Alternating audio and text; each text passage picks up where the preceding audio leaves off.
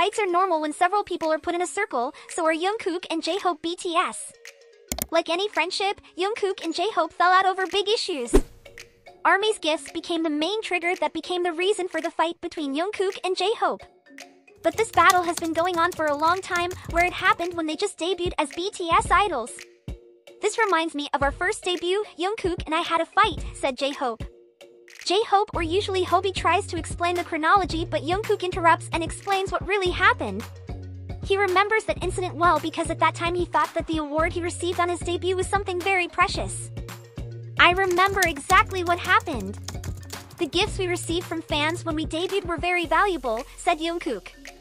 Maknae BTS received a big basket filled with fruits from ARMY, which was his first gift.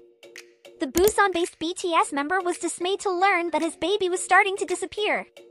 The first gift from fans was considered very valuable, so he wanted to keep the fruit and told all his hyungs to stop eating it. I got this big fruit basket, but the fruit is starting to disappear.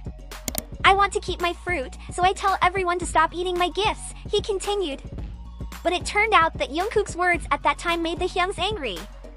Hobi, who was eating a banana at that time, immediately vomited it out. Bothered him, Hoseok ate his banana but spit it out, he continued. The memory made J-Hope and Jungkook laugh.